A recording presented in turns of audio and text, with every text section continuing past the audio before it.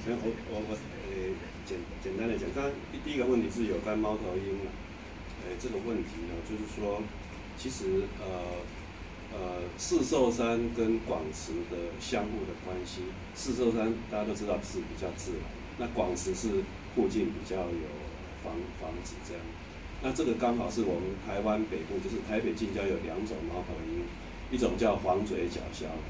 黄嘴角鸮应该是比较四兽山，它是跟山区。那猫头鹰的话，其实是跟有一点点都会区的那种环境，所以刚好是各取所需的。好，那我我个人的角度呢，就是整个南港山系呢，就是台北近郊从北投到士林到内湖到南港，一直到信义计划区文山区的这个丘陵地，我觉得应该是一个。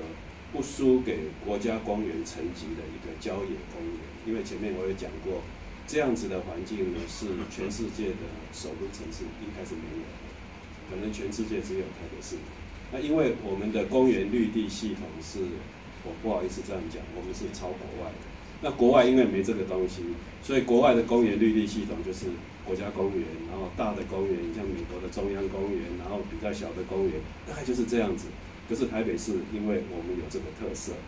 所以我只是想利用这个机会跟各位伙伴来呼应，就是说台北市有这么样一个绕着台北市几乎快一圈的这个低海拔丘陵地的交争，我个人认为这件事情是非常非常非常重要的。那我再讲一个哦，就是说可能我们在座各位有人喜欢养猫养狗啦，种花种草啦，可是你看那个我每次都讲说，你看那个公寓。明明不适合养猫养狗，不适合种花种草，可是我们为什么偏偏要做这个动作？然后到了呃周末的时候要往郊外去走。那因为其实啊，我我这个观念其实是有一次我们在哈佛大学喝下午茶，有一群做这个演化生物学的学者啦，我们就在聊天，就是我们人为什么做这个事情？那后来有一个人就讲说，其实啊。呃，因为我们人类都是从自然界演，我们是从那个伊索比亚跟肯尼亚交界处那个地方演化出来的，大概是在三十五万年前那人类是从自然界演化出来的，所以我们人类在潜意识里面有想要回到自然的那种冲动，所以随时在寻找我们人的心灵跟自然的平衡点。所以为什么呃这个郊野公园这么重要？因为我一个老外朋友跟我讲说。就说你们台北市哦，其实有一个很棒的资源，可是为什么台湾人都搞不清楚，台北人也搞不清楚？他们认为台北市是全世界最好的疗愈的城市哦，如果说我们可以从这样的角度来看，呃，四寿山这个地方，还有这个郊野公园，呃，我觉得台北市真的是怎么样走到一个疗愈城市，寻找心灵的平衡。我刚刚只是利用这个机会，啊，我再讲一点，既然讲了嘛，我就不用来讲了。哎，然后这就是郊野公园，然后再来是黑冠马路的事情，我想讲一下。以前二三十年前，台北市没有黑冠马路来。我第一次看黑冠马路是要跑到，我那个是多少年前了？大概二十几年前，快三十年前，我必须跑到水里才会看到黑冠马路。那我觉得黑冠马路在最近的十几年可能才进入台北啊。那可能是因为气，呃。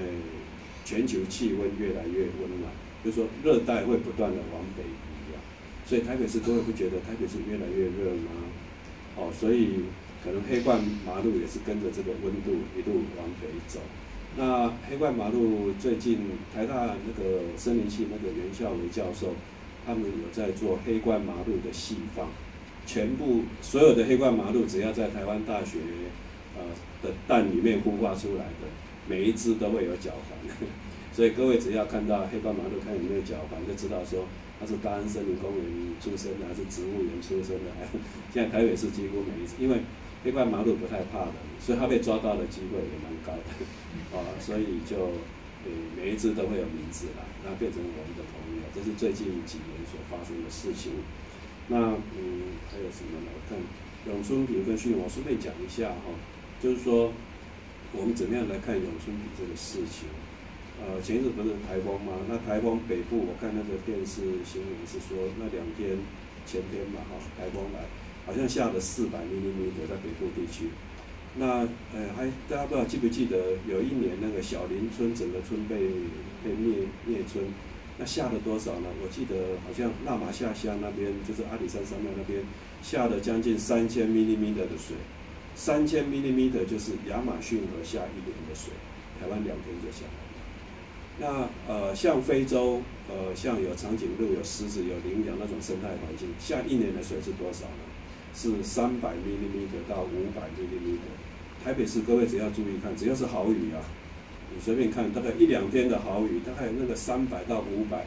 也是非常容易看到的事情。所以你看，非洲下一年的水，台北市一两天就下完了；亚马逊河下一年的水，可能台湾的某个地方可能一两天就下完了。所以，其实台湾有一个很重要的特性，就是它的瞬间降水量非常的大。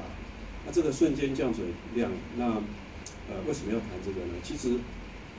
我一开始不是讲说，台湾的森林其实是很古老嘛，因为生物相很古老。其实台湾的这个森林，它出生是为什么呢？就是为了对付这种这么大的瞬间降水量，这种阔叶林，它是有层次的。所以阔叶林为什么那个各位只要看四寿山这边的。最高树木那个乔木的叶子，它都不会很大，而且不会很薄，它都是中等大小，然后有一点点的厚度。下次各位你去爬四兽山了，特别看那个最高的树，那个树叶上面好像涂女孩子涂那个指甲油一样，哦，就是瞬间降水的时候，如果很薄会被破坏掉，那个植物可能就没办法生存。所以因为稍微厚一点，所以那个水冲击力很大，就不会。直接冲刷到地面，那我们的永春比就比较安全一点。好，所以其实这个四兽山它是我们台北市东边的一个防护网，对付这个瞬间降水量的防护网。那简单的讲哈，就是说，呃，台湾可能是等一下可能我们有专家的哈，就是水利的专家。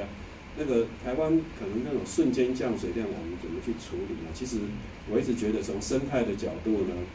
呃，怎么样让从天空掉下来的水停留在掉下来的地方越久越好？这个是治水。我们过往的治水不是这样，我们过往的治水是说，天空掉下来的水最好赶快离开我家，然后最好到别人家去。我们都是这样嘛，所以以前那个戏子不是经常都淹水吗？因为戏子是基隆河的下游嘛，那基隆河的上游那个大家的排水沟都做得非常好，所以一下子就流到戏子，不淹水才很奇怪的事情。好，所以就是说，最新的防洪的概念呢，就是说，怎么样让上游的森林很好，因为它有层次。哦，哎，我想大家都进过森林嘛，你走进去森林，你脚底下会发出那个枯枝落叶被你踩的声音。然后呢，所以我们的森林是有层次的，有第一层，有第二层，有灌木层，有草本层。可是大家不要以为就是这样子哦，草本层的下面还有枯枝落叶层，还有腐殖质层。再往下挖有浅根是浅根系层、中根系层、深根系层。那为什么要这样子？啊，像我们四座山的阔叶森林还会有着生植物，比如说有山苏花，还有一些兰花。那这个是到底为了什么呢？就是那个叶子流的水，它会流到树枝，然后呢有着生的就会把水吸入在。所以我们近代治水的其实最生态的概念是什么？就是让天空掉下来的水留在那个林子里面越久越好。